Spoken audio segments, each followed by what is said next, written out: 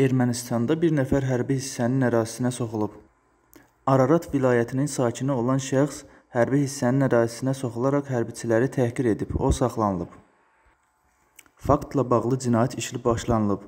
Cinayət işi çərçivəsində hərbi hissəyə qanunsuz daxil olma və xuliqanlıq hərəkətləri törədilməsi ilə bağlı bütün halların müəyyənləşdirilməsi istiqamətində tədbirlər görülür.